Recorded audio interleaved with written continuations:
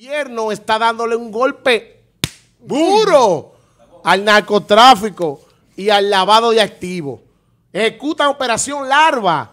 Eh, unos 25 allanamientos se ejecutan de manera simultánea desde la madrugada de este miércoles en varios puntos del país.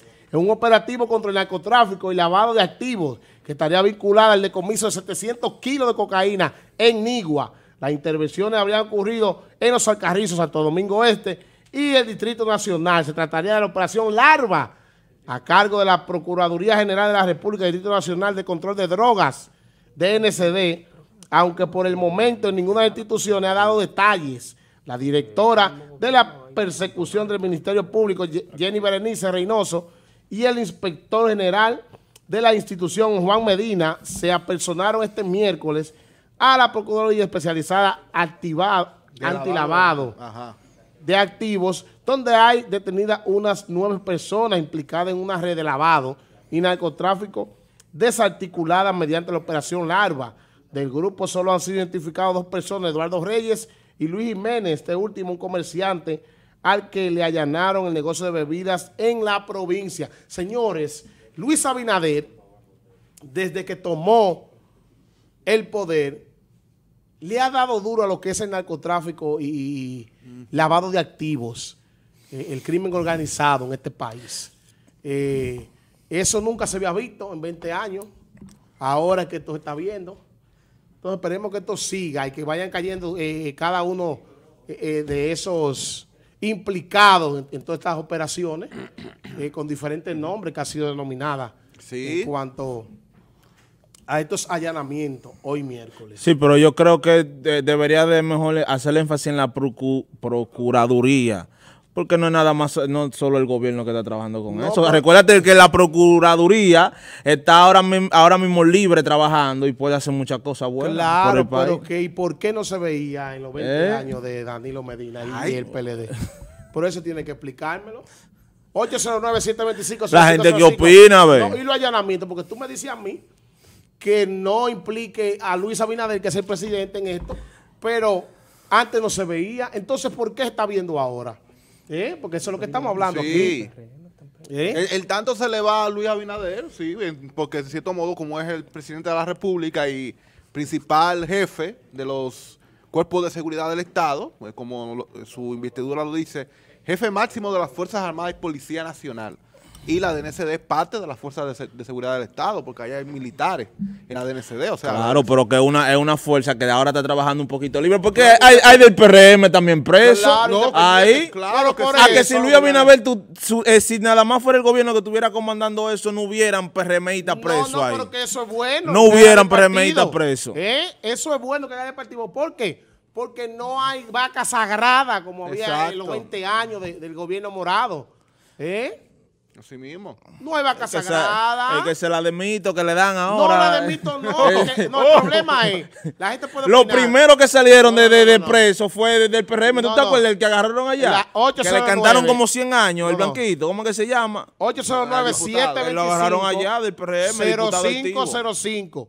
Ahí está el número para que usted debata aquí con nosotros el tema de, de estos allanamientos y, del ataque. Que, se no, que se preparen también los funcionarios porque creen que porque están en el gobierno ahora mismo hay muchos que, se van a El gobierno lo ha apresado, familia. El gobierno a ellos lo ha apresado también, que aquí no hay vaca sagrada, aquí no hay colores. y lo está investigando, ¿eh? Y lo está investigando. por ejemplo, hay uno, hay un funcionario que ha sido señalado, pero no le han hecho acusación formal, que es Lisandro Macarrulla, y a él le está afectando un ruidito ahí que hay. Yo no sé cómo lo va a gestionar eso y cómo, pero sería muy feo para el gobierno que ese hombre... Eh, buenas tardes. Tenemos una llamada. ¿Aló? ¿Aló? Hello. Luis, arregla el teléfono, Luis. O él la recarga. La gente quiere opinar, la gente quiere opinar. Está robando con la Está robando con la recarga. esperemos que haga condena, que nada más no sean medidas. No, no, no. Que haga condena, que se vea. está condenando, pero el caso de Bre fue condenado. Eh. ¿Y de qué fue el caso de Bre? Se está condenando a todo el mundo, pero que antes no lo habían esos allanamientos. O la gente que me demienta, yo 09-725-0505. Eh, es ahora en este gobierno que se está viendo que se le está dando duro al crimen organizado en este país. Estamos hablando del Sí. crimen organizado en, en los mayores niveles, ¿eh? Claro, estamos hablando de, de, un- estos un- capitos, de que de un uno agarra los decomiso de barrios. 700 kilos. Ahí estamos viendo las imágenes tú de la prueba. Y tú sabes que los pejes gordos que van cayendo van a ir tirando por el medio también. Sí. Y tú sabes que hay muchos colaboradores también del, del lado de ese partido de- del, del que está ahora y que van a ir cayendo. Sí. O sea, que todavía la jornada que falta de, de, de- de ata- de atacar y de encontrar todos esos malhechores, todos esos bandidos de cuello blanco, ah, van a haber muchas sorpresas aquí en este país. gente- y gente gente que que, están ahora mismo en el poder van a caer, van a caer. No, porque mira una cosa, porque el problema, la cuestión del narcotráfico y del lavado de activos es que ellos se meten donde, donde ellos saben que van a ganar, donde no va a haber pérdidas, como decimos en, el barrio. Tú no importa si tú eres eh, del PRM o tú eres del PLD, o- no importa, ellos se meten ahí a, meterse a hacer, su negocio con tal de que de tener sus favores con cualquier negocio que quieran hacer y utilizar esos negocios, por supuesto, para el lavado de activos y para el lavado de, de dinero. O sea, Claro. buscan impunidad. Pero yo quiero saber qué van a hacer con los bienes, porque hay mucho apresamiento ahora mismo, pero hoy los bienes, todo lo incautado, no, no, toda bienes- la torre, las avionetas, los pone, helicópteros. ¿verdad? Eh, se En pone subasta. En subasta. Y el que va a esa subasta tiene que eh, justificar de dónde es su dinero. Pero y eso, quién es. eso tiene que hacerse público para No, saber. pero las subastas son Son públicas. públicas las Sí, subastas. lo que pasa hay es que, que no ir. puede ir cualquiera con dinero. No, yo tengo 200 millones y usted no va a decir dónde lo tiene para esa subasta. También las bombas que están aquí incautadas. Hay varias bombas incautadas. Van también en lo que es una subasta. Que a propósito de, la, de, la bom- de las bombas, atención, porque quiero hacer esta pequeña denuncia en el go- eh, aquí, aprovechando rapidito. Y es que aquí en las bombas que están en la, 20 en la Frank Grullón, esquina Bienvenido Fuertes Duarte, como está totalmente cerrado, entonces no hay un paso para los peatones, entonces se están metiendo a las calles. Tienen que, eso es muy peligroso y, eh, las autoridades, tanto municipales como la DGC, tienen que buscar una forma para que las personas puedan transitar de forma segura por esa zona, porque como está cerrado, está cerrado No, todo no, eso, se come y no tiene acera, entonces se come la... Tiene, la- tiene acera, lo que pasa es que la, la parte de la bomba se la había robado. Lo que el, el- lo que el gobierno tiene que hacer es buscar la parte que le, que le pertenece a la acera Exacto. y marcarla. Exacto. Y se, entonces cerrar de ahí para allá. Exacto. Ya. Porque Así que obviamente, aten- aunque la, Atención ayuntamiento y DGC. Para que- Aunque y la bomba haya llenado. No sé si y- y no sé si Brian Lee está puede- tiene competencia en eso, pero Brian Lee, atención ahí también para que eh, meta mano ahí con eso, un- una ayudita ahí para que la gente pueda pues transitar por esa zona que es peligrosa. muy demasiado Sí, peligroso. y Eso hay que tenerle miedo. que estoy loco que terminen la sí. vaina esa de, de, de- de- que, que no sé qué es lo que está pasando. De, de la- circunvalación ya. Ah, sí, sí. Porque Yo estoy eso- loco también. Claro, porque esa, esa patana que se meten ahí, eso da miedo.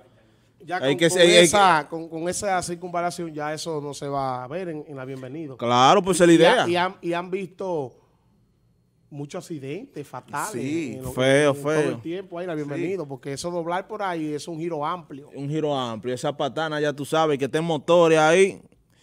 Se, se enganchó en una goma de También para mí eso le resta, la, eh, le resta un poco, es, es un arma de doble filo, esa circunvalación, porque la gente, sabes que hay muchos viajantes que pasan por la ciudad, el comercio, o sea, hasta que... No, pero, eh, sí, pero afectar, ¿no? No, pero realmente la circunvalación va a ser para son- vehículos fuertes, para pa, pa- patana. No, no, porque el que vaya por ahí, el que vaya para Nagua y puede cortar por ahí, no va a cortar. Es un palo. Pero tú ¿No sabes que de luego de esa circunvalación va a haber un comercio nuevo. Claro, en esa No, zona. en siempre esa y zona. cuando, siempre y cuando lo respeten, ¿eh? porque si lo, si van a hacer una circunvalación y le van a meter negocio, nos va a matar lo mismo, que o sea, no va a servir de nada. Así como, No, como porque hay que pasó- meter bomba de gasolina y... No, no, Oh, claro. bomba, pero, fucho, pero- vaina así. Pero ya para antes de retornar al tema, ya eh, eh, la capital, recuérdense que la Jacobo Masluta era una circunvalación, más amable y que está aquí, conoce bien, se diseñó como una avenida de circunvalación y al final está todo eh,